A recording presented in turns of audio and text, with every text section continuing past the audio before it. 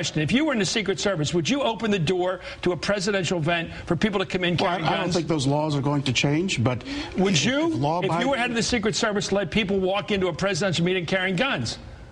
Would you? I think it would be Would you? if You would. Yes. If you were head of the White. House Secret Service, Right would you let people come into that auditorium, 10,000 people all carrying guns? well, the would you let them president do it? has armed security. I'm asking We you, would you do that? What are we? What are the people? I'm only asking a question, sir. I said I'll give you all the time in the world. I'm going to put the question to you, and you can take five minutes to answer it. If you're head of the Secret Service, would you let the regular people walk in to a presidential event armed? Well, regular people, sir, are the ones who are supposed to run this country. Absolutely. They do don't- lose okay. their Second Amendment rights. So you would have no problem with that? If they're abiding by the law. You would have no problem. This Okay, let me go to Mr. Levin. Levin. Okay, he said it's okay if he were head of the White House Secret Service detail to let the whole room fill with people carrying guns.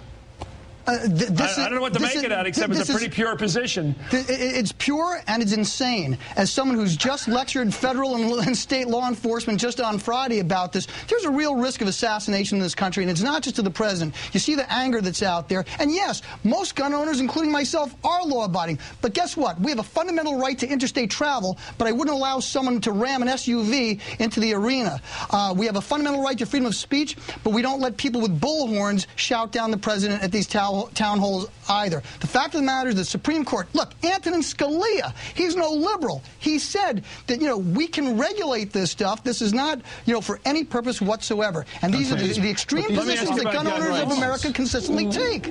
What would what would be your position on the level of firepower? Would it be okay for you to for a person to go to a presidential meeting carrying a semi-automatic rifle? Uh, would that be okay with you? What Brian is talking about. Now let me ask you the question: Would it be okay with you if a guy walked into a presidential town meeting or a presidential debate between McCain and Obama or someone else carrying a, a semi-automatic rifle? Would that bother you?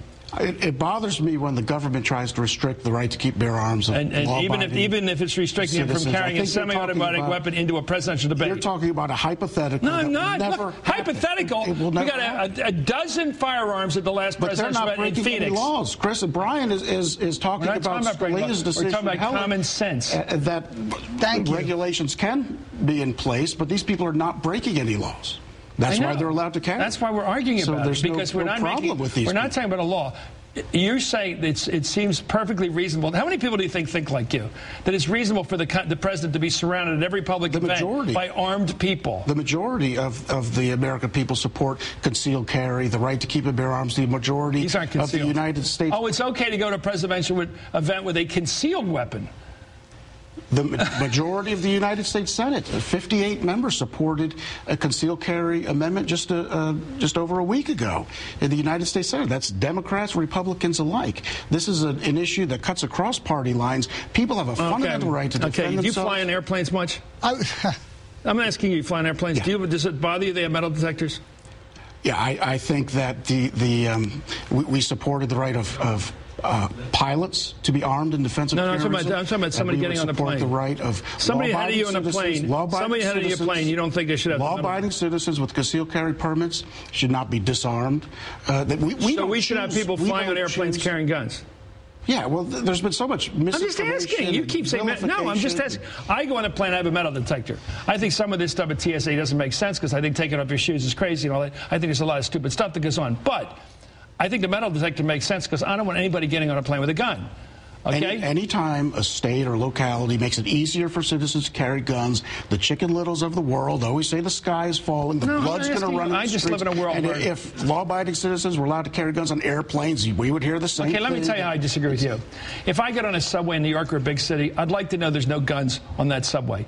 If I go to a movie theater in a big city, I'd like to know there's no gun. I'd like to know there's no gun. I'd like to have a metal detector. Detector. be nice, but- I'd like to have a metal detector movie not up to theaters. I'd like to know there's less guns in this city. I wouldn't mind if a cop stopped people in the street if they, got, if they looked like they had a it gun. sounds like you don't want to be free. I don't want to have my can- city if you want to turn go into Dodge City. to go to the movies, Uh, you you know could- the, how many people get murdered in this country every year by guns? Thank you very much, John Thank you. And you're perfectly right to your opinion, but I think it's insane to fill gyms and field houses with people carrying semi automatic weapons and expect the President of the United States to come in. The number of assassinations in our history is extraordinary. Lincoln, Garfield, McKinley, Teddy Roosevelt was shot at. FDR was shot at, and they shot the mayor of Chicago by accident. Harry Truman was shot at. They killed the Secret Service agent, Puerto Rican nationalist. Jack Kennedy was killed. Jerry Ford was shot at twice. Ronald Reagan was almost killed. Had it not been for the Secret Service agent, he would have been dead. We live in a dangerous society when it comes to elected officials.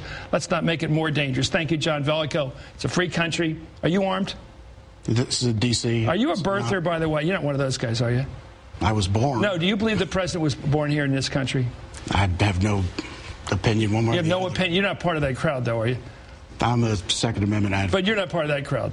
Just tell me.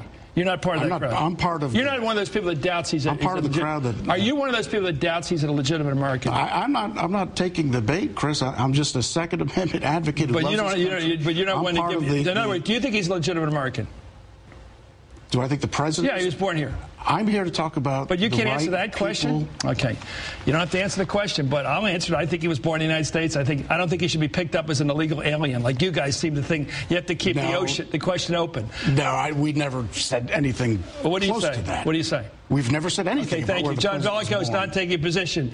He's agnostic on the issue.